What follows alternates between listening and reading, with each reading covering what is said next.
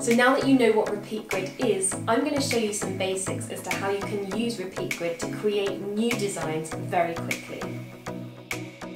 Okay, so building on our Repeat Grid basics, I'm going to show you one of my favourite elements of Repeat Grid because I think it enables you to really play around with the design, but with, as I think it really so I think it really enables you to play around and be experimental with your designs, but with good data in place. So I've just brought in an element from my Sky UI kit and I've made that a repeat grid element. So I'm just going to use that handle to drag that content down.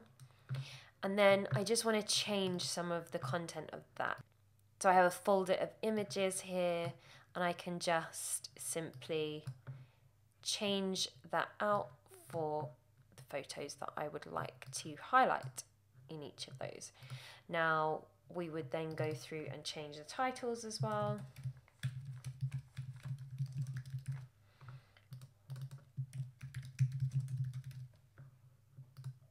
You get the idea.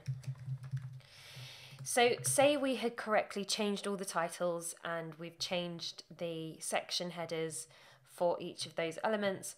What we then can do is start to experiment with the design, and this for me is something that I love to do with Repeat Grid. So we could then decide actually, I want to try and experiment with what that looks like if I was to change that to sit further over here and I'm going to make that a lot larger and have that span over here a little bit and I want to change the background fill to something really quite garish um, you can do that very, very quickly and experiment with your design.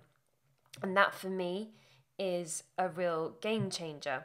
Now, taking up a notch, here's something else that we can do, which I think you're going to like a lot. So, say we're trying to make a image gallery, for example, which is quite common within apps.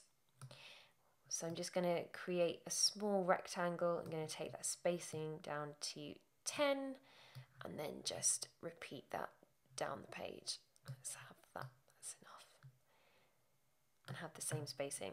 So I'm just going to align that to the center of my document and then I'm going to open up that folder of assets and I'm going to select a bunch of photos and this is one of my favorite things because it just feels like magic just grab all the photos that you'd like to drop in and then simply drag everything over to your Repeat Grid element and there you have a gallery straight away.